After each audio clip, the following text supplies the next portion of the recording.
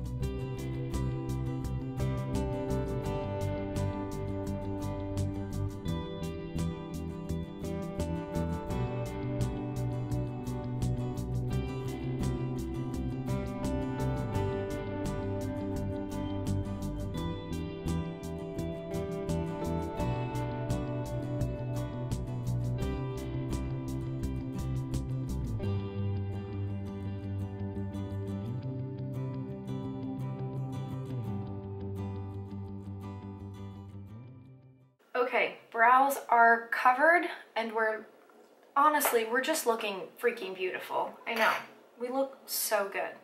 I look so good. We, you guys aren't sitting here with your eyebrows covered. He next uses a stick foundation and it says to generously apply all over the face, uh, blend in with a sponge. Stick foundation is used when maximum coverage is desired.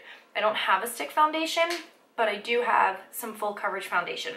I have the Airbrush Flawless Foundation by Charlotte Tilbury. I have the shade 5.5.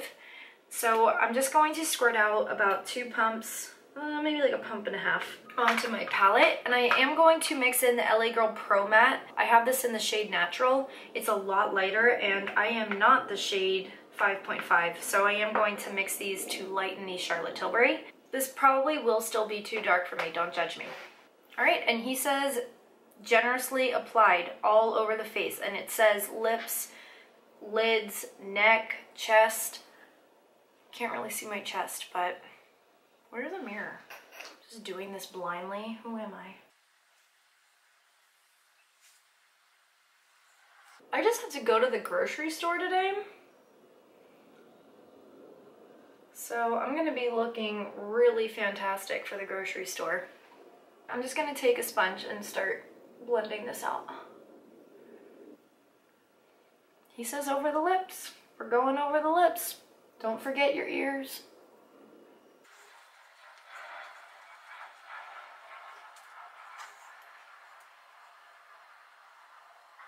If you are doing a full coverage, full face, even if it's not to this extent, make sure you get like in your nose crevices.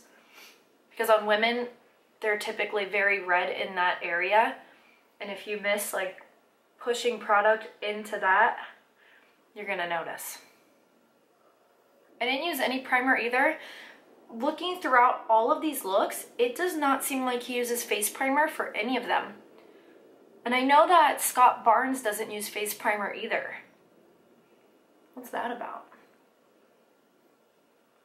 All right, I don't know why I'm still blending. I'm blended, I'm done. Um, I have not practiced this look, by the way, so we are doing it together, you and me. Next, oh, he doesn't use concealer? Oh no. All right, well then I better get a little bit more and make sure to really get like my inner corners here.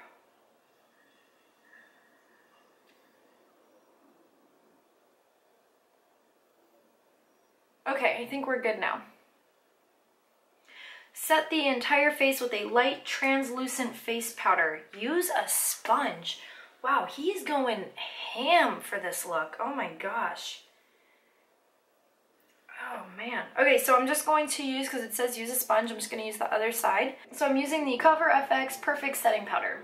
I'm going to dip my sponge in there and lightly set. Lightly set with a sponge. I don't know about that, man. Is that possible? I'm going to try.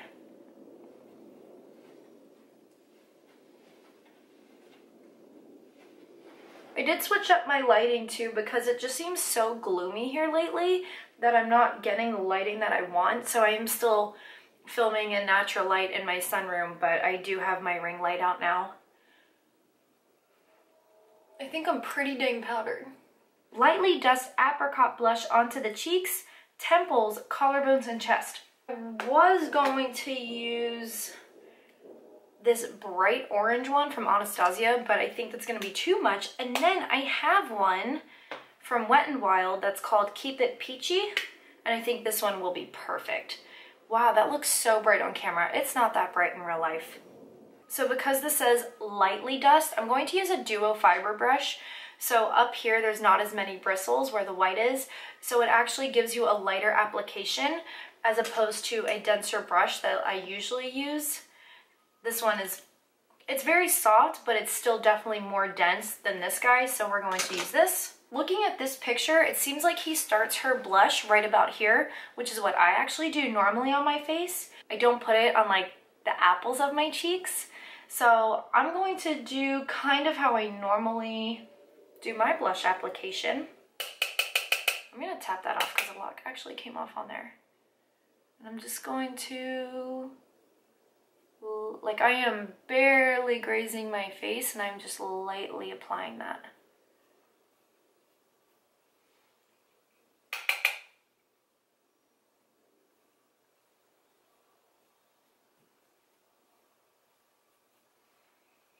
You said on the temples? I'm actually going to kind of start on my temples and come down onto my cheeks. So that way we're getting I don't know, hopefully the same application that he had.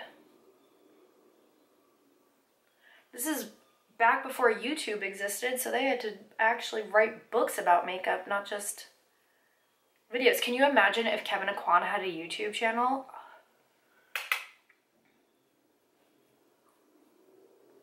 Alright, I think that's a pretty good application. He does not use an eyeshadow base, but I know my eyelids, they will crease, so I am going to use my Urban Decay Primer Potion in Eden super quick. Moving on, he says a light brown powder shadow. I am going to be using my Morphe 35O palette. I just use this as a palette for foundation. Um, these palettes from Morphe are super cheap and it is pretty much just all browns. Ton of browns but use whatever you have. You don't need this palette to achieve this look. But he says to use a light brown powder eyeshadow is applied lightly all over the eye area, up to the brow bone and softly under the eye using a medium eyeshadow brush. So let's start off with that. So to get the color that I want, I like the tone of this one right here. It is not as orange as the others. So I'm actually going to mix this with the cream shade up here to get the brown that I'm looking for. Don't be afraid to mix shadows to get the color that you're looking for, by the way. Do whatever you want. I'm going to be using a Morphe M433. I have a MAC 217. They're pretty much interchangeable. Any small fluffy brush will do, it seems like. And let's get to mixing.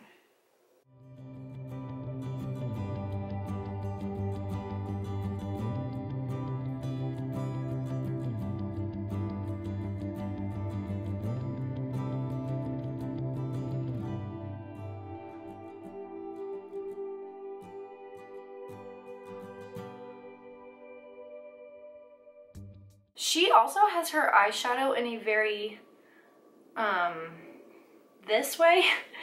And even though I have hooded eyes, I am going to do my best to try to achieve that.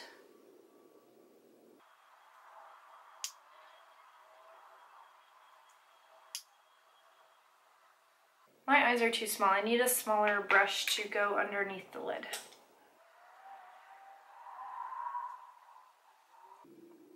This stuff is just so fun to me. Like, makeup, this is what it's all about, is just playing with it and having fun and seeing how it can transform your face.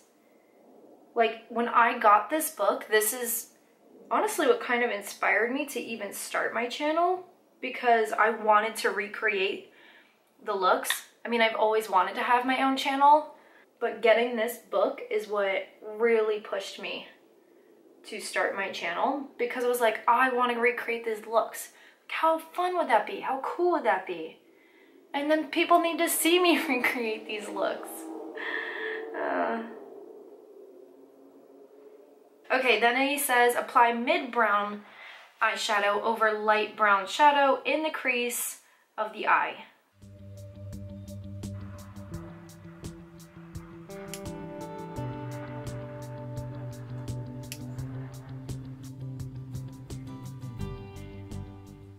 So this is the color mixed with that cream that we used all over the lid.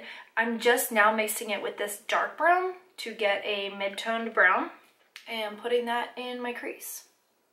And then he uses an iridescent peach eyeshadow. Yeah, so I'm going to use this color right here. So to apply this, I'm going to be using a fluffier flat brush as opposed to what I've normally been using in my videos. So this is a really dense very thin flat brush. So having it be a little fluffier and not as dense, kind of like the blush, it's going to give a lighter application. We're not going for a foil look, we're just going for like, it seems like a dusting over the lid.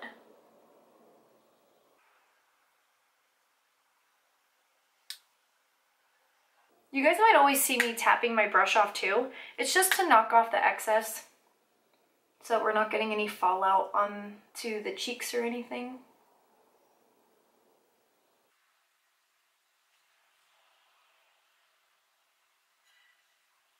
That is it for the eyes.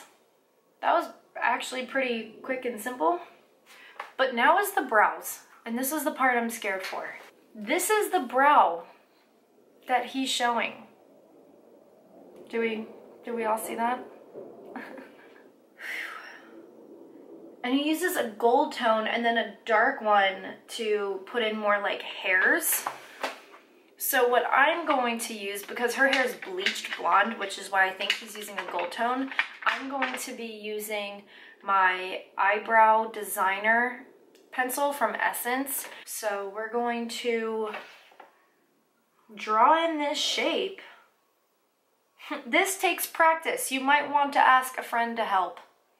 Begin the line at the inside of the eye, starting slightly higher than where the real brow grows. Arc the line across and taper off. So my real brow starts about here. Oh my God, do I start up here? Oh my gosh, I'm so nervous. Okay, just go for it. Just do it. You've got this. All right, he arcs it.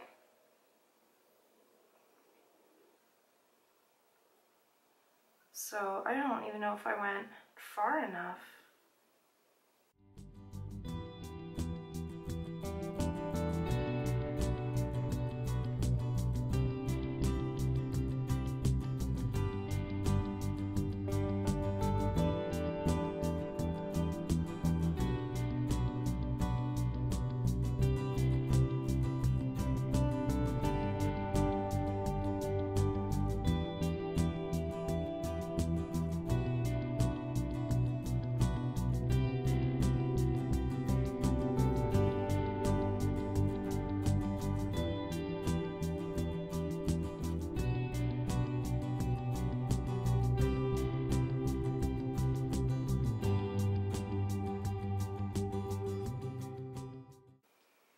Now it says to draw in hairs. So I actually don't know. I hope this will show up. I'm using my Maybelline Brow Ultra Slim Pencil. I'm using my pencil in deep brown. God, you guys, these baby hairs. Maybe I should have like thrown a headband on, but I didn't. I hope this will show up.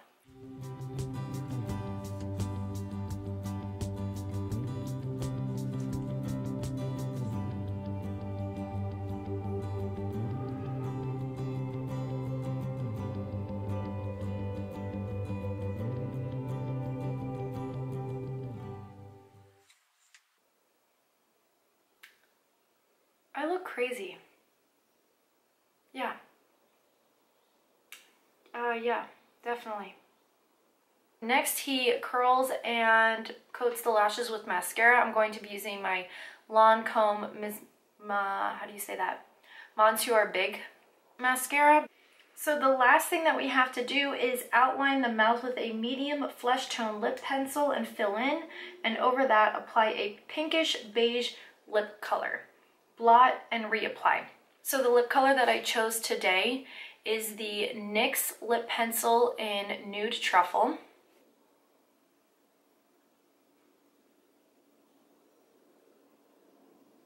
Okay, lip pencil is on. So um, he says apply a pinkish beige lip color. So the color that I'm going to be using for that is Honeycomb by Bite Beauty. It is one of my favorites. And he says blot and to reapply. Let's take the hair down and see how this looks now. Yeah, I actually really like the look if it weren't for these brows. I am going to just kind of go back now that my hair is done and you think you're done, you might not actually be done. So I do want to blend this out a bit more. So without any more product on that first brush that we used, I'm just going to lightly, lightly, like if you can see that's barely, barely touching my fingertip. That's what I'm gonna do to blend that up in there. Holding the brush at the end so that way you're not getting too much pressure and that'll help with that as well. I think that's really all that we need though for this look. I never apply my blush like this. If anything, it was similar to how I do it, but I don't normally bring it onto the temples like this. I've never done this lip combo before and I absolutely love it. It's not a revolutionary lip color, but I'm a huge fan, so I will definitely be doing that again. Um, I love the color that that made. And the eyes were really simple. So it shows just because you are, you know, one of the world's greatest makeup artists doesn't mean you're using you know 10 eyeshadows on your eyes and you know using a million colors to blend everything out. It's it's about like the technique and having fun and i had fun today. This was this was good. Like i said this is actually something that i would wear out like base included if it weren't for the brows. If i could have my brows be my brows i i would even wear that out. I think it's really different but sometimes it's about pushing yourself and stepping out of your comfort zone to try new things. And that's why I'm so excited about this book because I'm so excited to try new techniques and see what works for me. That's why I watch like a million different YouTubers as well because everyone has a different technique. You know, you've been watching the first YouTuber forever and maybe your makeup application is very similar to theirs and then all of a sudden you start watching someone new and they do something a little bit different. And then it's like oh well maybe i should try that. Maybe that'll work on me. So i'm so excited to go through these different looks and see what works. And i don't know i'm just i'm very excited to play around with it. So this was the first look. This was showgirl. Should i try and pose like her? Look at her. This is like that was my dream hair when i was a teenager. It was kind of like the emo the scene kids that's that's kind of a scene girl right there. There will be a lot more Kevyn Aucoin looks coming. I hope you guys enjoyed this. I had a ton of fun making it. So if you liked it, please hit the like button. If you want to make me feel a little happier, you want to brighten up my day, hit the like button. Please subscribe and if you guys ever need to know what makeup I've been using throughout the entire video, just check down in the description box and I have it listed there. I'll be uploading every Tuesday and Friday at 3 p.m. Eastern Standard Time. Thank you guys so much for watching. Like I said, I really, really appreciate it and go have a good one. Bye.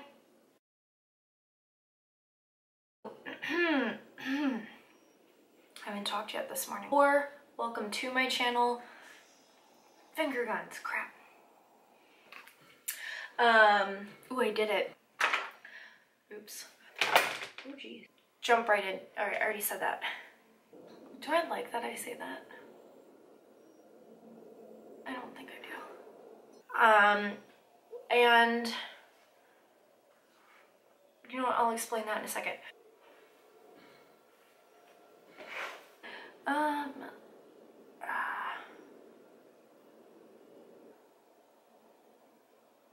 Hmm. So I'm using the cover of. Mm -hmm. So do do do. Yeah. Okay. Mm -hmm. I waved way too long.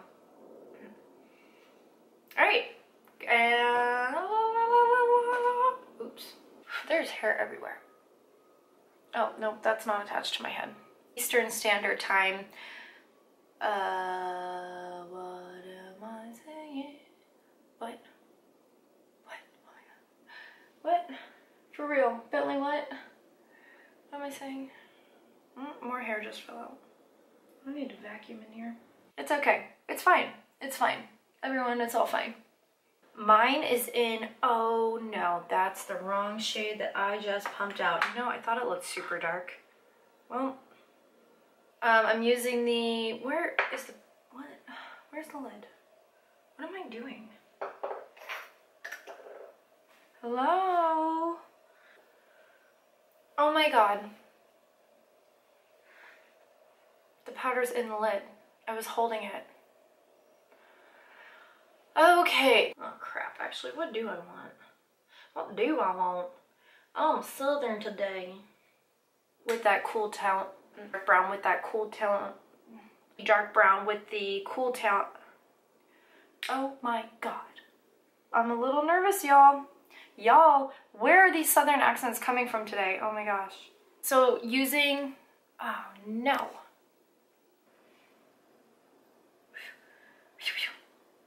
There's hair everywhere. There, oh, there we go. There we go. Yes. Um, forward. There, that's what I need. That's what I need. I need this to come like that. A little too comb overy. Ow! Did you hear that? That hurt. Guys so much for watching. oh my god, I have lipstick all over my teeth. Holy crap. I'm actually kind of obsessed with it. Maybe it's because my skin's tanner too. And then I'm like, yes, I'm tan. Don't look at actually how pale I am. Nobody knows. And I'm wearing long sleeves. So you can't even see how pale I am.